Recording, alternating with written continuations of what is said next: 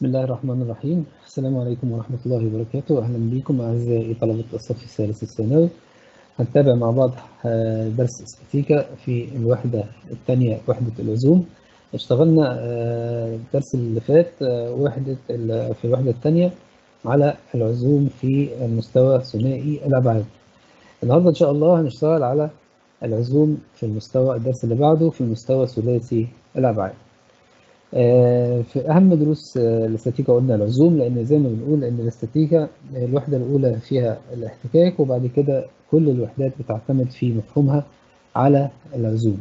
عزم قوة بالنسبة لنقطة في المستوى أو عزم قوة بالنسبة لنقطة في الفراغ. وده اللي إحنا هنشوفه النهاردة إن شاء الله هو عزم قوة بالنسبة لنقطة في الفراغ. آه، إذا كانت آه، يعني عندي في الفراغ ثلاثي الأبعاد طالما فراغ يبقى فيه طول وعرض وارتفاع يبقى فيه اللي هو ال 3 دي البعد الثالث زي ما أنتم عارفين طول وعرض فبنقول القوة ساعتها مش هتمثل ب آه، آه، مركبة سينية ومركبة صادية فقط لكن هيبقى عندي ثلاث مركبات مركبة السينية ومركبة الصادية ومركبة العين زي ما إحنا شايفين دلوقتي عندنا. هيبقى عندي هنا ثلاث مركبات. فبنقول هنا عندي المركبة السينية اللي هي قاف في اتجاه السين وقاف في اتجاه الصاد وقاف في اتجاه العين. برضه إحنا هندي نبذة عنها لأن برضه ممكن تكون لسه ما خدتهاش في الهندسة الفراغية. تؤثر في النقطة يعني عندي قوة بتؤثر في نقطة ألف س وص في الدرس الأولاني إذا كان عندي قوة بتأثر في نقطة يعني لو عندي قوة ألف قوة بتأثر في نقطة ألف ومطلوب عزمها حول نقطة اسمها واو مثلا أو ب أو أيا كان يبقى بقول أن عزم النقطة أن على العزم يعني برمز له بالرمز ج حول واو بيساوي واو ألف اللي هو متجه موضع النقطة ألف بالنسبة لنقطة واو. افتكر معاك القانون. ضرب اتجاهي القوة ق وفصلنا الضرب الاتجاهي بعد كده اللي هو قلنا البعيد في البعيد ناقص القريب في القريب لأن ما عنديش غير مركبة سينيه ومركبة صادية. وقلنا إن عندي المجموعه اليمينية اللي هي س وصاد وعين كنا بنقول عملية الضرب تخضع للاتجاه الموجب والاتجاه الايه السالب. فلو قلنا س في صاد هيدينا موجب عين لأن كده س في صاد اتجاه دورانهم عكس عقارب الساعة. ولو قلت س في عين هيدينا سالب صاد ضرب اتجاهي. طبعا سالب صاد لأن هو مع عقارب الساعة. فالضرب في اتجاه عقارب الساعة سالب والضرب عكس اتجاه عقارب الساعة موجب تعالوا مع بعض نشوف إيه وضع القوة لما تأثر آه، في نقطة وعوز عزمها حول نقطة أخرى بس في الفراغ اللي هي ثلاثي الأبعاد ونشوف إيه المشاكل اللي هتقابلنا عشان نقدر نتغلب عليها.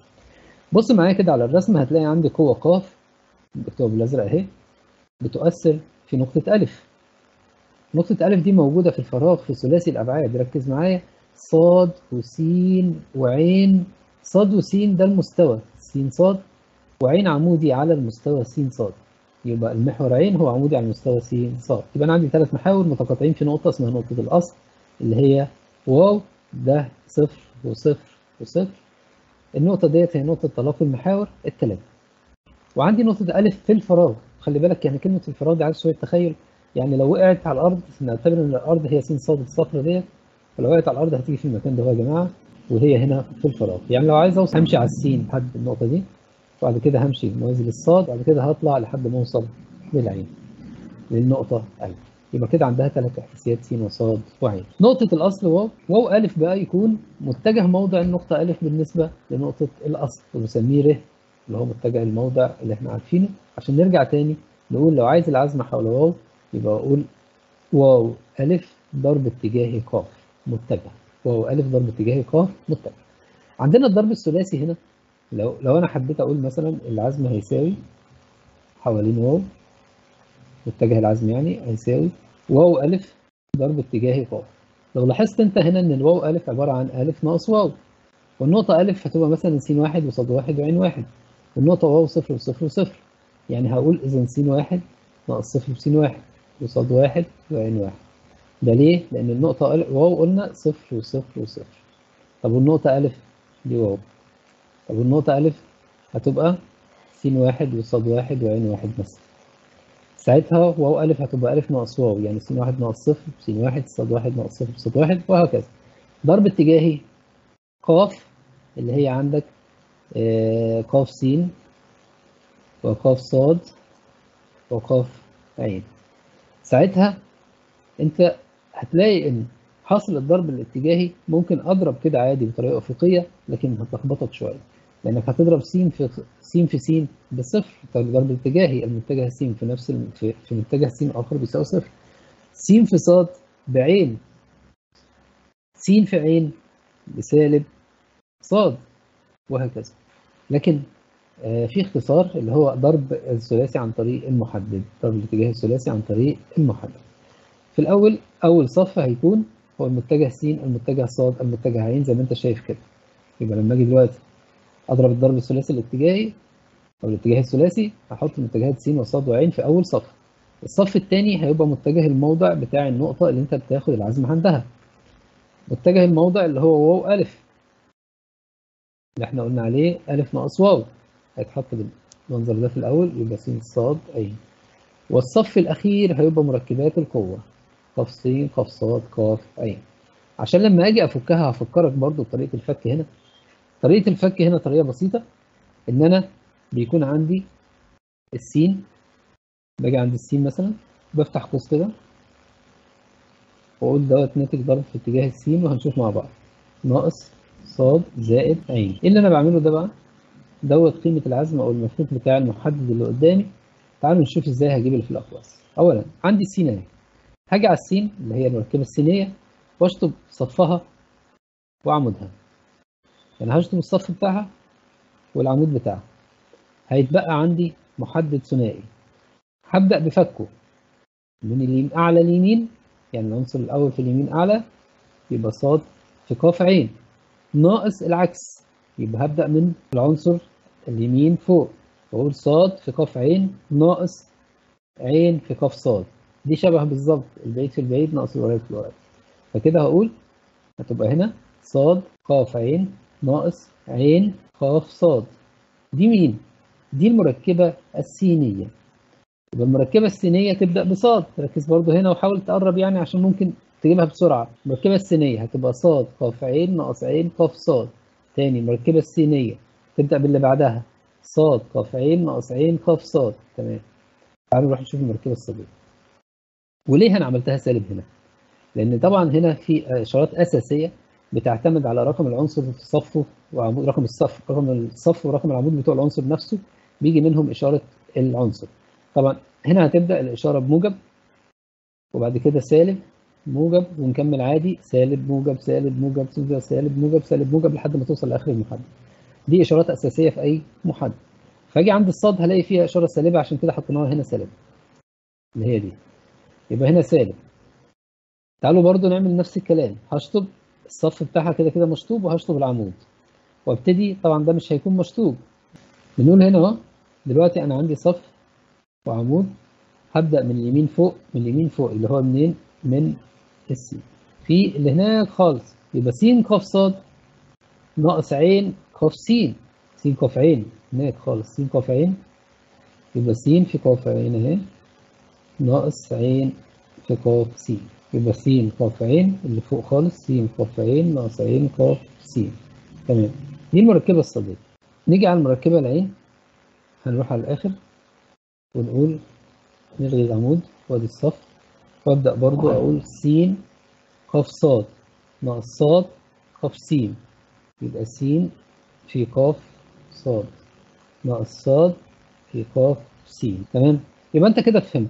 إن مركبة السين ممكن على طول تبدأها عادي. مركبة السين هي ص ق عين ناقص عين ق ص طيب مركبة الصاد خلي بالك مركبة الصاد ممكن هنا ببساطة جدا لو أنا عايز أقول أشيل السالب دوت فهدخل السالب ده هتبقى السين ق عين سالبة والعين ق ص ق س موجبة فتتقلب تبقى كأنك بتقول عين ق س ناقص س ق عين.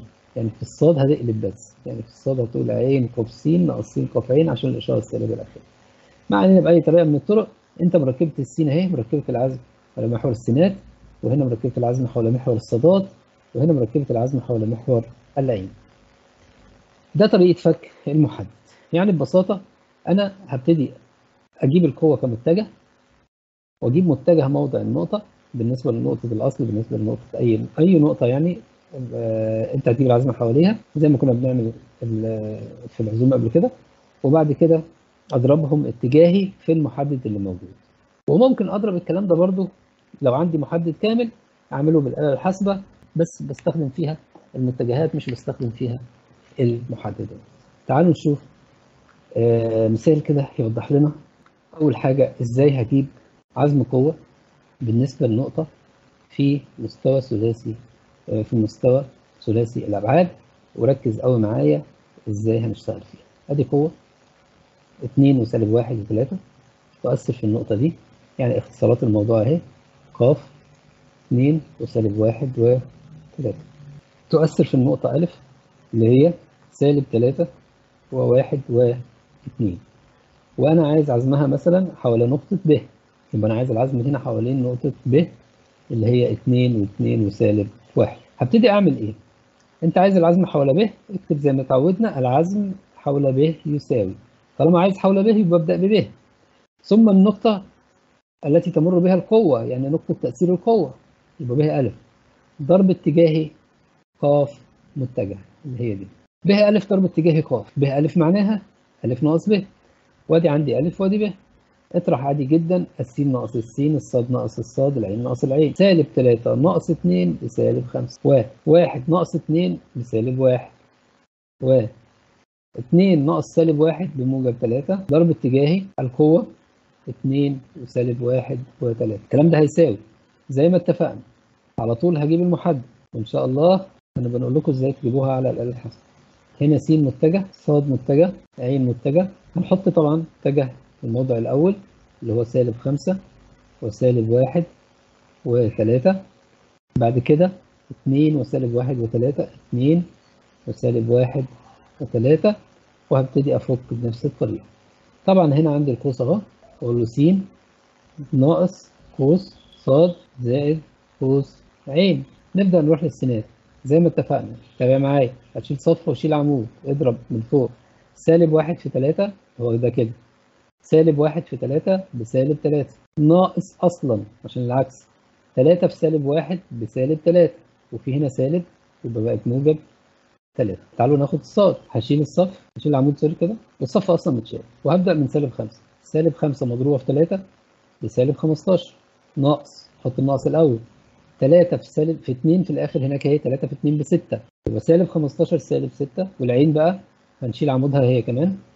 فيتبقى معاك 5 وسالب 1 بسالب 5 ناقص سالب 1 في 2 بسالب 2 وفي هنا سالب يعني موجب 2 في الحالة دي هنقول بيساوي صفر س يعني مفيش سينات. متجه السينات راح. وهنا دي سالب 21 وفي سالب بره فهتبقى 21 صاد زائد ولا سالب؟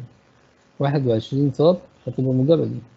وفي هنا سالب 5 دي ولا كانت كام؟ نعيدها كده سالب 5 في 3 بسالب 15 ناقص اللي هي العين يبقى سالب 5 في سالب 2 بموجب 5 دي. هتبقى 5 5 و2 فهتبقى 7 يبقى موجب 7 هو ده متجه العزم. 21 صاد زائد 7 عين. طبعا أنا عندي معيار المتجه أي معيار جذر التربيع زي ما إحنا عارفين. طب هو إحنا كده جبنا إيه؟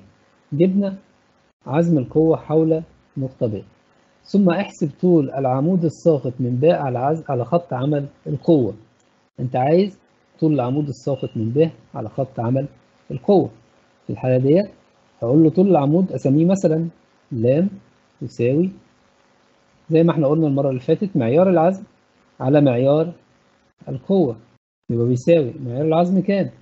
العزم اهو قدامك 21 و7 يبقى يساوي الجذر التربيعي ل 21 تربيع زائد 7 تربيع على الجذر التربيعي المعيار القوة طبعا معيار القوة اللي هو اللي هي القوة عندك 2 وسالب 1 و3 يبقى الجذر التربيعي لمربع الاثنين اللي هي 4 زائد مربع السالب 1 يعني 1 زائد مربع الثلاثة اللي هو 9 فهتطلع عندك تطلع معاك؟ أدي هنا 27 21 يعني كلها على بعضها هتطلع جذر 35 هتقول له جذر 35 إيه؟ وحدة طول وتعالوا كده نراجع ديت بس عشان إيه؟ كده قدرنا نجيب عزم القوة حول النقطة. وبعدين جبنا طول العمود الساقط من القوة على هذه النقطة. طول العمود الساقط من النقطة بتاعت العزم على خط عمل القوة تعالوا نشوف حاجة تانية. إحنا قلنا قبل كده مركبات عزوم هذه القوة قوة في اتجاه المحاور. في اتجاه المحاور. ركز كلمة في اتجاه المحاور يعني بقول لك عايز حزم القوة حول أو حول محور السينات حول محور الصادات حول محور العين. يبقى هنا أدي القوة ق س دي مركبتها السينية ودي مركبتها الصاديه ومركبتها العينيه قوة بتأثر في نقطة متجه موضعها بالنسبة لنقطة الأصل س وصاد وايه وعين متجه موضعها بالنسبة لنقطة الأصل. فبيقول لي هنا مركبة عزم ق في اتجاه محور س هيكون إيه؟ دي إحنا طلعناها. صاد ق يعني دي أنا زي ما قلت لكم كان ممكن على طول نقولها من الشكل اللي هو دوت يا جماعة. نخلي بالنا كويس قوي ده اختصار مهم جدا. س وهنا صاد وهنا عين المجموعة اليمينية اللي إحنا عارفينها اتجاهها الموجب هو اتجاه عكس عقارب الساعة. لو أنت عايز مركبة العزم حوالين محور س يبقى أنت هتقول له إيه؟ صاد ق عين ناقص عين ق صاد. بص كده وشوف أهي فوق أهي. صاد ق عين ناقص عين ق صاد. طب شوف لي كده مركبتها حوالين محور صاد. ابدأ بعين. حوالين محور صاد ابدأ بعين تاني. لو انت عايز حوالين محور صاد يبقى تقدر تقولها سريعا. عين ق س ناقص س ق عين. شوفها كده؟ فعلا اهي. عين ق س ناقص س ق عين. طب لو عايز تجيبها حوالين محور عين ابدأ بس س ق ص ناقص ص ق س يبقى كده أعتقد بقت أسهل. من غير يعني محدد يعني ممكن من غير محدد أعرف أجيبها. دي مركبات عزوم القوة حول محاور الإحداثيات اللي هي السين والصاد والعين. ماشي؟ يبقى كده مثلا لو هو جاب لي مسألة وقال لي أوجد عزم القوة بالنسبة لمحور السينات أو محور الصادات ومحور العين يبقى خلي بالك لازم آخد العزوم بالنسبة لنقطة الأصل ويطلع معايا واتجه عزم القوة بالنسبة لمحور من المحاور. تعالوا نشوف كده هنا لما أحب أشوف مثال على الموضوع. إذا كانت القوة ق بتساوي ك س زائد 4 ص ناقص ع تؤثر في نقطة أ أ دي متجه موضعها بالنسبة لنقطة الأصل. هو ر واحد واثنين واثنين. ده متجه موضع جاهز. يعني هو مش بيقول لي هي بتمر بنقطة آه تؤثر في نقطة أ مثلا وأنا عايز المت... العزم حول نقطة واو أو حاجة زي كده يبقى أنا كنت مضطر أجيب واو ألف اللي هو متجه الموضع. لا ده ده عندي جاهز أهو. متجه موضعها بالنسبة لنقطة الأصل هو ده اللي أنا بدور عليه. هو ده اللي لو اتضرب في قاف اتجاهيا هيدينا العزم. متجه العزم. يبقى هنا ر بتساوي. واحد واثنين واثنين وكان مركبة عزم القوة ق حول محور ص يساوي سبع وحدات عزم. عاوز قيمة ك سهل الكلام. مش كده؟ عايز قيمة ك طب أنا ممكن أجيبها بالمحدد؟ وممكن بسرعة جدا زي ما إحنا عارفين. هو بيقول لي إيه؟ حول محور ص عزم القوة بيساوي سبعة. طب هو العزم حوالين محور ص فاكر؟ أبدأ بمين؟ أنا عندي س ص عين. لو عايز العزم حوالين ص ابدأ بعين. يبقى عين ق س ناقص س ق عين. يبقى العزم حوالين صاد اللي هو عين. ق س ناقص س. ق عين هيساوي كام زي ما قال لي؟ هيساوي سبعة. فين الكلام ده؟ تعالوا نشوف كده. ادي القوة اهي. لو أنا حطيتهم فوق بعض كده علشان أجيب الحل بسرعة باختصار يعني وممكن اعملها بالمحدد عادي بس إحنا عايزين إيه؟ نقول من غير المحدد ممكن أقدر أجيب الكلام. لو أنا حطيت كده القاف اللي هي س والصاد والعين اهم متجه واحد اثنين 2 حط تحته كده. القوة. كاف 4 سالب 1 اللي هي القوة. كاف 4 سالب 1 طيب تعالى بقى شوف. انت بتقول كده عين ق س يعني إيه عين ق س؟ عين فين هي؟ اللي هي اللي هي هنا دي. ما هي دي س ودي ص ودي عين. ودي ق س ودي ق ص ودي ق عين. فتقول بقى عين ق س عين ق س. يعني 2 في كام؟ 2 ناقص س ق عين. 1 في سالب 1 يعني سالب واحد. هتقلب تبقى معاك موجب واحد. بتساوي كام؟ سبعة. يبقى اتنين كاف بتساوي سبعة ناقص واحد يعني ستة.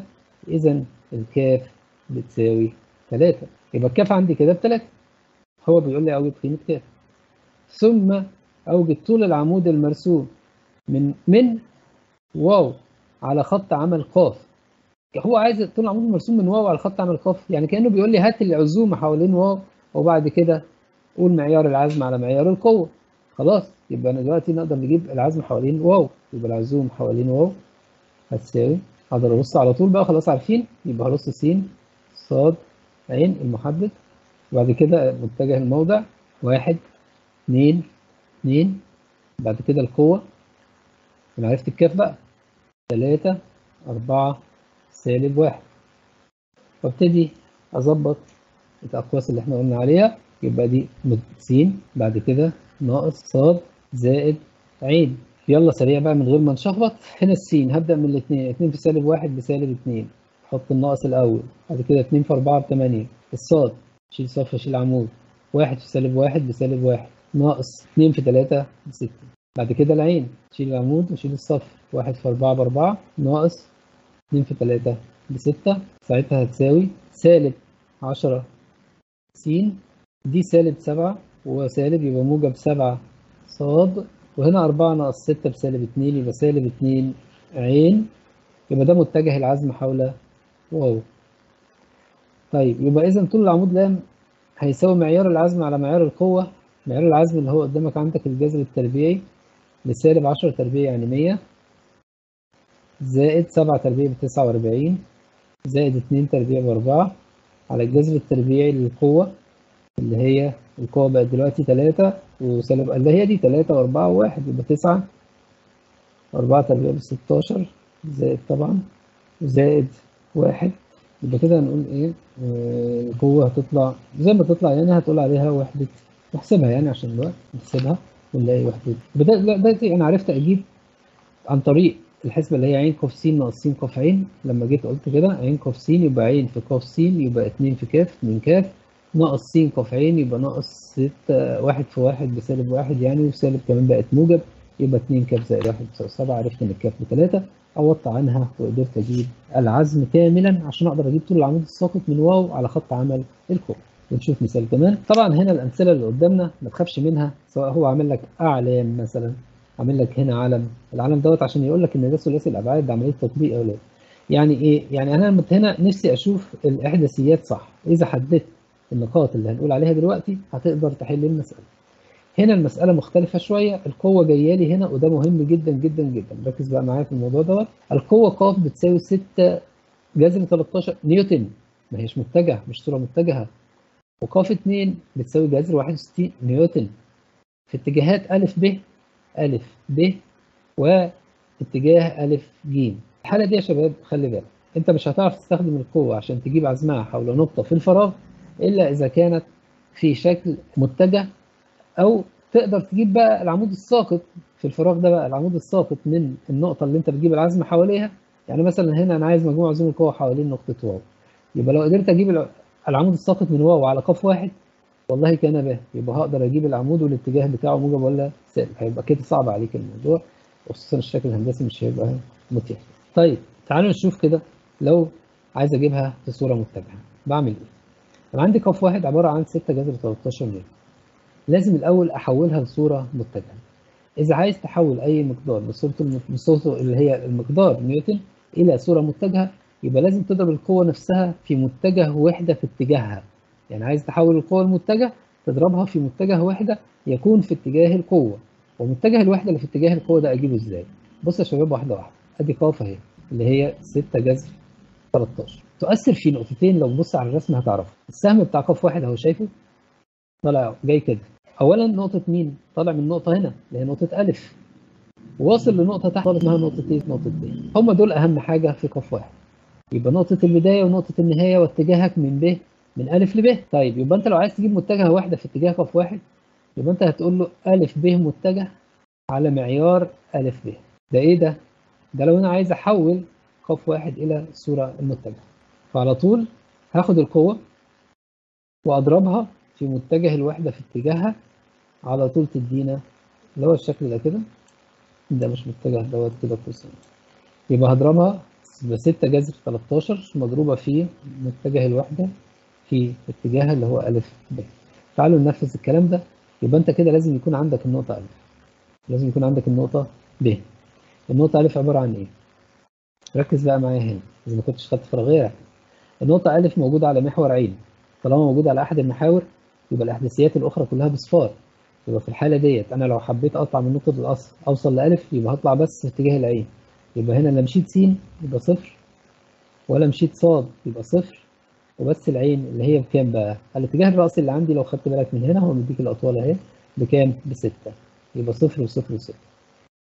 طيب وعايز كمان نقطة ب نقطة ب موجودة على محور صاد زي ما أنت شايف تحت أهو موجودة على محور صاد يبقى ما مشيتش غير في الصادات بس هو السين بصفر والصاد برقم والعين بصفر طب رقم الصاد فين؟ أشوف الرقم بتاع الصاد فهلاقي إن الموازي ليه أربعة يبقى هي مشيت في الصاد أربعة.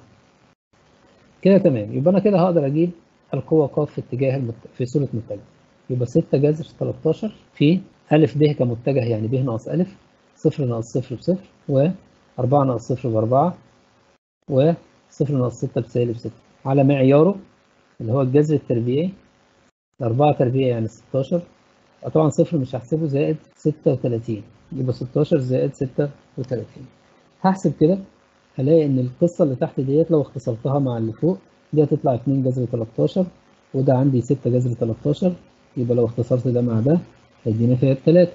تقوم تضرب يطلع لك القوة في صورة متجه تبقى صفر وتلاتة في أربعة باتناشر وتلاتة في سالب ستة بسالب 18 يبقى كده أنا حصلت على قاف واحد في صورة متجه. احصل لي على قاف اتنين برضه في صورة متجه. لأنك أنت لو عايز تجيب مجموع عزوم القوة حول نقطة واو يبقى لازم تجيب عزم القوة الأولى زائد عزم القوة الثانية حول نفس النقطة واو. فأنا هنا عندي القوة الأولى والقوة الثانية مش متجهات فأنا بحولهم بقى لمتجهات دلوقتي. بجيب قاف اتنين بنفس الطريقة ونحولها لمتجه. تعالوا إزاي؟ نفس الكلام. أنا هقول قاف اتنين بتساوي نزلها تحت شوية بقى عشان إيه؟ أتأكد من حاجة. تمام. عشان بس بتأكد إن كنا سايبين شريحة فاضية عشان بقية الحل قاف اتنين أروح أجيبها. كمتجه فأقول له هنا إن قاف اتنين متجه هتساوي. قيمة قاف اتنين اللي هي جذر واحد وستين. في متجه الوحدة في اتجاهها اللي هو إيه متجه الوحدة في اتجاهها؟ أدي قاف اتنين. ارجع بقى كده للرسم تاني. أدي النقطة ألف موجودة والله عندي النقطة ألف أهي. أدي النقطة ألف موجودة. وأدي النقطة جيم اللي هي بداية القوة. ونهايتها. يعني أي نقطتين في اتجاه القوة نفسها. آه هتعرف الجيم؟ آه أعرفها. ده الجيم ديت بس خلي بالك احداثيات الجيم هنا محتاجة ذكاء. أنت هتمشي على السينات الأول خلاص مشيت على السينات. مشيت قد إيه عشان على السينات مشيت. ثلاثة لا مشيت على السينات أربعة. يعني همشي كده على السينات زي الأربعة دي بالظبط موازي ليها. يبقى همشي على السينات أربعة. وبعد كده أمشي في الصادات. الله. ثلاثة بس الصادات الإيه؟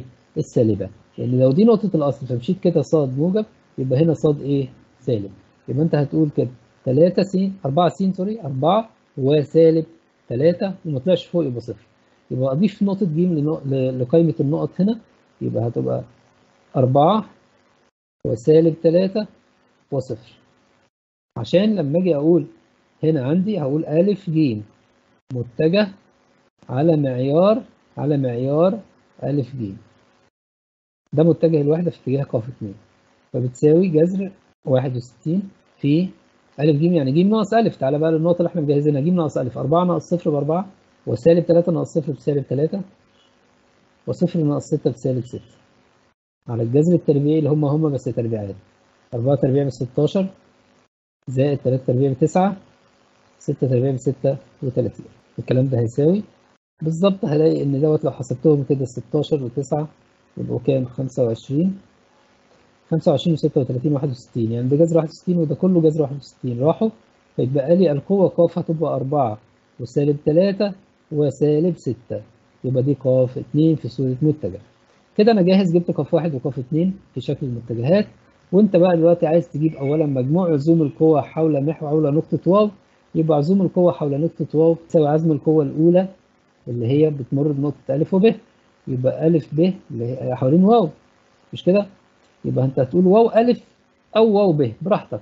المهم واو ونقطة على خط عمل القوة لأن النقطة التي تمر بها القوة لا تؤثر في قيمة العزم يبقى ممكن أقول واو أ ضرب اتجاهي ق واحد وفي نفس الوقت أقول له زائد. طب أنا ممكن أختار واو, واو أ برضه لأن أ موجودة على خط عمل ق الاثنين اللي هي القوة الثانية. تمام؟ يبقى واو أ برضو في ق اتنين متجه. يبقى في الحالة ديت عندي كام؟ عندي اتنين محدد. المحدد الأولاني س ص وعين طب ما تيجي بقى إيه؟ نقلب ناخدهم الناحية التانية. بس نبقى شايفين كده القوة الأولى اللي هي صفر واتناشر وسالب تمانية والقوة الثانية اللي هي أربعة وسالب تلاتة. فنقول هنا إن العزم اللي هو رقم واحد بقى في الكلام اللي هو عايزه العزم حوالين واو بيساوي واو ألف ضرب اتجاهي ق واحد زائد واو ألف برضو ضرب اتجاهي ق اتنين لأن نقطة ألف موجودة على خط عمل ق واحد وهي هي موجودة على خط عمل ق اتنين. يبقى في الحالة دي أنا عندي اتنين محدد زي ما قلنا. هنا س ص عين اتجاهاتنا. وبعد كده واو ألف اللي هي ألف اللي هي ألف ناقص واو اللي هي هتبقى صفر وصفر وستة. وبعدين قاف واحد اللي هي صفر واتناشر وسالب تمانية زائد العزم الآخر اللي هو برضه س كده صاد عين دي مش واحد ولا حاجة. هنقول يساوي. هنا برضه النقطة ألف هي هي صفر صفر ستة وقاف اتنين المرة دي اللي هي أربعة وسالب تلاتة وسالب ستة. هنفك عادي يبقى عندك فكين الأولاني.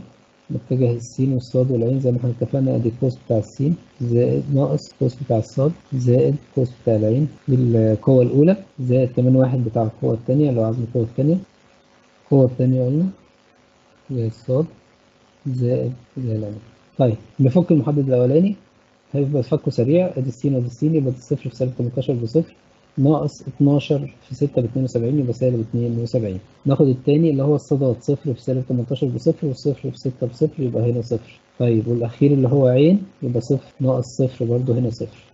يعني مش هيطلع لك من ديت غير سالب 72 س تعال ناخد التانية نفس الكلام برضه السينات اهيت يبقى صفر في سالب 6 بصفر ناقص سالب يعني موجب 18 وبعد كده الصادات هتبقى صفر في سالب 6 بصفر ناقص 24 يبقى سالب 24 العين هتبقى صفر ناقص صفر بإيه؟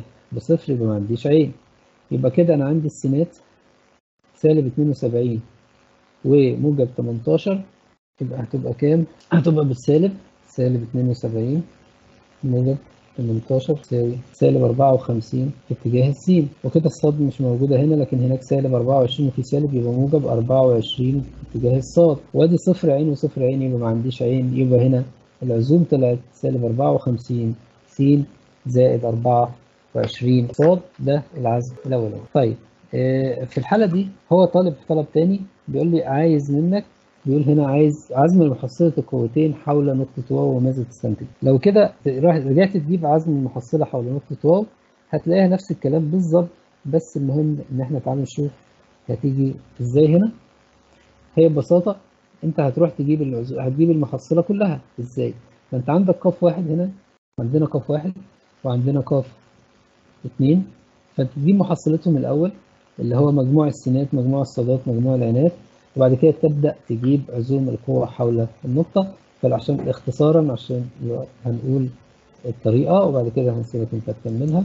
هنا بنقول أهو لو عايز تجيب العزوم يبقى لازم أجيب المحصلة الأول. فح هنا هتساوي مجموع السينات مجموع الصادات مجموع العينات فهتكون هنا ممكن أجيبهم حتى من صورة المحدد اللي قدامي ده ده قاف واحد وقاف اتنين يبقى صفر وأربعة تبقى أربعة و12 وسالب تلاتة يعني تسعة. وسالب 18 وسالب 6 يعني سالب 24 دي المحصلة. بعد كده تروح تجيب عزم المحصلة حول نقطة واو يعني المحصلة أكيد بتمر بنقطة ألف لأن نقطة ألف دي تقاطع الإيه؟ يبقى عزم المحصلة بقى. عزم المحصلة حوالين واو هيساوي واو ألف ضرب اتجاهي ح اللي هي عندك هتساوي واو ألف يعني اللي هي النقطة صفر وصفر وستة. ضرب اتجاهي أربعة وتسعة سالب أربعة وعشرين. لما هنضربهم هنلاقيهم طلعوا نفس مجموع عزوم القوة حول نفس النقطة. نشوف كده في الوقت اللي باقي ده. في الشكل المقابل قوة مقدارها 130 نيوتن. هنا بقى طبعا آه كان المثال اللي فات ده عشان التدريب إزاي أحول القوة من الشكل الاتجاهي للشكل بالشكل العادي للشكل الاتجاهي. قوة مقدارها 130 نيوتن. دلوقتي أنا عايز أعمل إيه؟ عايز تؤثر في القطر ألف ب ركز قوي تأثر في ألف ب يبقى أنا بسرعة هجيب النقطة ألف وهجيب النقطة ب. يبقى بسرعة النقطة ألف. عبارة عن تحديثيات هتنتمي لعين. يبقى مفيش كله سالب كله صفر يبقى عندك صفر. وصفر وعين. العين اللي هي الرأسي ثلاثة من الرسم. طيب وب اللي هي الاتجاه اللي هي قوة في اتجاهها. دي موجودة في المستوى س ص. موجودة في المستوى س ص. يبقى إذا العين بصفر. إذا النقطة موجودة في مستوى يبقى الرقم الثالث يبقى بصفر عشان العين مش موجودة. السين كام؟ السين أربعة. والصاد السين كام؟ السين أربعة والصاد كام؟ والصاد 12 يبقى أنا كده لو عايز أحول القوة اللي هي 130 إلى متجه فأقول له إن ق متجه هتساوي 130 مضروبة في ب ألف ب اللي هو ب ناقص ألف يعني 4 ناقص صفر بأربعة و12 ناقص صفر باتناشر يساوي 3 على معيار الكلام ده اللي هو الجذر التربيعي ل 16 زائد 144 زائد 9 اللي هو مربعاتهم. هتطلع معاك 13 يبقى دول 13 مع 130 يبقى اللي فوق ب 10 10 تضرب يبقى ق هتساوي. ق بقى كمتجه هتساوي إيه؟ هتساوي 10 في 40 في 4 ب 40 و12 في 10 ب 120 وسالب 3 في 10 بسالب 30 يبقى دي القوة كمتجه. خلاص بقى روح جيب العزم حوالين أي حاجة. هو بيقول لك عايز عزم القوة ق حول النقطة د يبقى لازم أضيف د للستة بتاعت النقط. د عبارة عن ده الموجود على محور ص يبقى صفر ورقم وصفر. ده الموجود على محور ص يبقى صفر ورقم وصفر وهنا رقم الصادات بس. يبقى انت دلوقتي لو عايز تجيب العزم حوالين نقطة د يبقى د وخد معاها أي نقطة من النقطتين دول يا إما أ يا إما ب لأن دول نقط تأثير القوة مش هتفرق خالص. فناخد أ السهلة ديت يبقى د أ ضرب اتجاهي ق يبقى بتساوي أ ناقص د اللي هي صفر ناقص أربعة بأربعة أ د يبقى أ ناقص د صفر ناقص صفر بصفر و صفر ناقص 12 بسالب 12 و 3 ناقص صفر بتلاتة يبقى ده ده الألف مضروبة في ق اللي إحنا جبناها فوق اللي هي 40 و120 وسالب 3 الضرب ضرب اتجاهي يبقى على طول هعمل محدد وأقول له س وصاد وعين فاللي عرفناها هنا صفر وسالب 12 و3 بعد كده 40 40 و120 وسالب 30 ونفكهم ضرب اتجاهي. عرفناها بقى يبقى س زائد لا ناقص هنا عشان دي الصاد زائد عين. وبعد كده ابتدي أقول أشيل السين صف وعمود يبقى سالب 12 في سالب 30 يبقى سالب في سالب بموجب و12 في 30 ب 360 ناقص 3 في 120 برضو 360 وده يعني كده السين انتهى طب نروح للصاد يبقى صفر في سالب 30 بصفر. ناقص 3 في 40 ب 120 يبقى سالب 120 ونروح للعين هتبقى صفر في 120 بصفر. ناقص 12 في 40 هتبقى 480 بس بالإيه؟ بالموجب.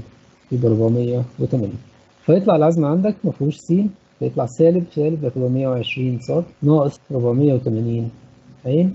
يبقى ده قيمة العزم لو عايز العمود انت عارف هتعمل فيه إيه؟